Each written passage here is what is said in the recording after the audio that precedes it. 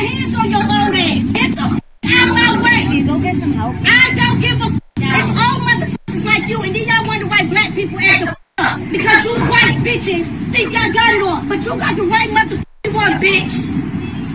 Fucking try me. Smile up, you gonna have to spit in your motherfucking face. You better back the fuck up. And what? I and I, that's a threat. Now if I can put my hand on your old ass, get the fuck out my face. Boom! She just smacked him.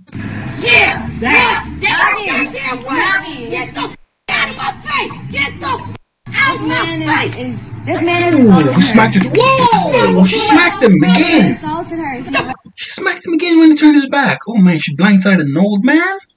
Dude's about 80 years old. Why are you beating on an old man? What did he do? What did he say? Just move on. You have to beat on an old man. This black woman out here going crazy, man. They can't be reeled back in. They have gone too far. Who wants to deal with this? What's wrong with you? What? Yes.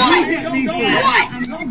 Now get his ass back. Get him the back. Oh man, his hair needs coming out. Oh, come on, come on, man. I'm sick of this. I'm sick of the. No, get him the f- back. No, no, no. Get him the f- back. You go. What are you doing? No one I say black men are the only options for black women. I mean, black American men are the only options for black American women. Because you see all this, their boisterous behavior. It's a masculine behavior, outrageous loudness, and going crazy in public. This won't fly in other cultures. All the men wouldn't tolerate this. Black American men have been programmed from a very early age to accept this because they're in the they're in the matriarchal system, the matriarchal system where the women are in charge. So you've grown up your whole life seen your grandma, your mom, your aunties all around. They, they're in charge, tell you what to do, to do all that, to control the community. The men have been programmed that way, so they tolerate this nonsense. But as the day goes on, a lot of them are realizing they don't have to tolerate this nonsense. They're leaving. They're not dating them anymore. And now there's women now trying to imitate the passport bros, and they're trying to make the passport sis or whatever. Then they go into these countries and realizing, holy smoke, there's the U.S. and then there's the rest of the world. The rest of the world realize there's a U.S. and the U.S. way of doing things.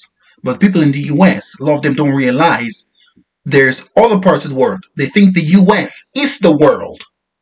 And then they leave to go to all these countries and then they realize, holy smokes, man, we do things in the US pretty much upside down.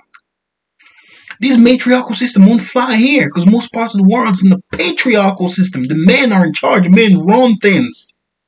So if this, this woman is taking this behavior to foreign countries and realizing real fast, especially in Africa, because this woman, this woman, woman wants to go to like black countries where they can find black men. Then they're realizing these black men are not the same as black men they have in America. These black men won't tolerate this.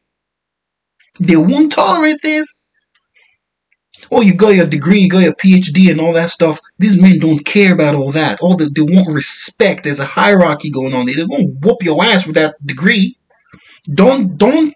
don't You're gonna learn the hard way. Just let's keep watching. Move. Y'all be thinking y'all the only option. They Baby, are. I can go date an Indian, a Hispanic, a white man. Mm-hmm. Y'all not the only mm-hmm. options out here who think y'all doing well know for what's the yourself, and with that's the problem. You know what's the problem y'all done put yourselves on a pedestal You know what's the pro- when it comes to black women. So all this head movement and all this. Pastor would not fly in other cultures. Other men will not tolerate this. The black American men will tolerate this because this is how they've been programmed. That's why I say they are your best option. And the more they wake up now realizing they don't have to tolerate this no more, these women are being left alone. Of them dying alone. See the news every day. This woman has been found dead in a house by herself. They realize she's been there a couple of days after she starts thinking. These men are not dealing with this no more. And they'll tolerate this even less in other countries, in the, where the third world countries or whatever. You, you, you're flaunting your green card in their faces. This man don't care about all that. Y'all need to bring it on down That's true. Y'all have because we have we have gotten to start dating outside our race. Mhm, that's true, Okay, that's true. and finding a white man. Get me out of Jamaica because these niggas said they don't eat pussy and his lady don't respect her. The vulgarity, the cussing. This is not feminine. This men do not like all this cussing women. No. You want him to eat pussy. Ziggy Marley, this Take it from me. If I bring someone like this back home to my parents in Nigeria, uh, I wouldn't even dare. I wouldn't even dare do that because it's like I'm bringing shame to the family. Serious shame. I would ne- what? Tattoos, all this stuff, and those women's long nails. I can't bring that home to my to my Nigerian parents. You, you crazy? why you paddling alone, paddling alone, paddling alone, because you're not eating pussy. You'd rather stay here to eat pussy. Well, then you don't want a green card. Eat some pussy and get a green card. Eat some pussy, you're a millionaire. Eat some pussy. talk all this nonsense at the resort. They mean all these men and degrade them and insult them, whatever, at the resort where the security never use. Don't try this out, out of the resort in the main. Looks like it's in Jamaica or something. Don't, you're gonna you're gonna learn. You're gonna learn real fast. These people don't tolerate shit like this. Pardon my cussing, but they don't tolerate nonsense like this.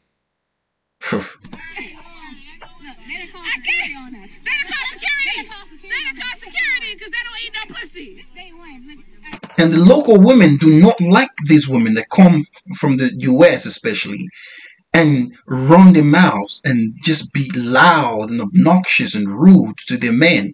These local women do not like that. They don't like them. Always be helpful and learn how to carry something on your head no matter how hot it is. Secondly, befriend the babies and pay them some naira to teach you how to do some footwork. Third, know how to cook his favorite stew or soup and have the aunties teach you in the village. It's the egusi for me. Fourth, get one of his cousins to do your hair and make sure that you show the aunties after because they're gonna tell you how beautiful you look and how you look like them. And lastly, y'all, make sure you love the village because more than likely you're gonna be bringing your kids back. I did all this and we still broke up. Clown. I, I do You're gonna break up because respect is huge over there. That's that that's a village village. The more rural you go in Africa, the more masculine and patriarchal the men are. No this and no peace. You can't go over there where a man has his way of doing things, pretty much live like a king over there. And then you tell him, oh, you're gonna bring him to America and all that, so he's gonna come here and of cleaning toilets and washing, cleaning the streets and taking nonsense and insult from you all day. That's a bad deal. He's not gonna do that, man. What? Come on, man. Come on. The relationship, the data market, is a mar- is a business. Is a transaction. You can't put bad deals in front of people and think they'll accept it. a lot of the. I do most of my demographic is African American or diaspora, as we call it. So they're usually melanated people from the respective countries they come from. And so they're coming over here, and a lot of them are. And I'm not putting out because I don't believe in calling our people out and putting out our dirty laundry, but I will We should. Should call them out. Bring shame back. When you see nonsense behavior, call it out. Call it out. Public shaming, let's bring it back because maybe that's how people are going to start acting right in this community. say, because you asked the question, a lot of them expect something that isn't here. And then they wake up to the harsh reality. I've talked to like seven different people. These are women that came here and married a Tanzanian man or in a relationship with him, and they're getting beat. They didn't think African men were, they, they didn't know. They thought that maybe I could come here and control that man, but that's not how it works here. So they get smacked upside their head, and they don't deserve to be hit. They don't. But at the same time, they should have known. Because they didn't know, they're disappointed. And a lot of them, a lot of them leave. Yeah, guys. What's sad to me and revealing, and my brothers are actually the ones that have brought this to my attention. Right? If they don't start listening to the men and start giving the men what they want to make this the relationship work, they can be cooperative in the union and start growing family again. These women are gonna die out. But what's sad and to me is the fact that when it comes to a lot of the modern women, and I hate to do this, but I have to, in America, why is it that there are not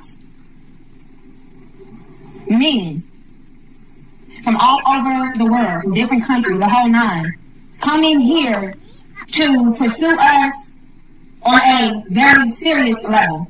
Because there are no wives in America. Most of these men want wives. There's boss ladies in America, not wives. Or at all.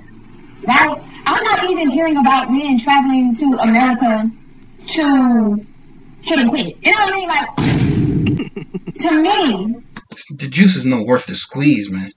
that reveals the fact that when it comes to a lot of us right here uh, in America, we are not ideal women to be with. We are not wifey material, if you will. Right? However, you do have a lot of the men right here at home in America traveling overseas to find wives. Because the traditional women over there, and that's what the men are seeking, so that's what they get. right? So not only do you have uh, the men that are overseas, staying overseas to build families, to get married, to find love, but then you have other men from different countries going to different places outside of the U.S. to find what they're looking for in a woman. What does that say, you guys?